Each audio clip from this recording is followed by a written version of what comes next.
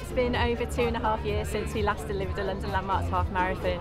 We've been through a cancellation, four postponements, and finally here we are today. I'm so excited. Recognisable sights from the Shard to St Paul's.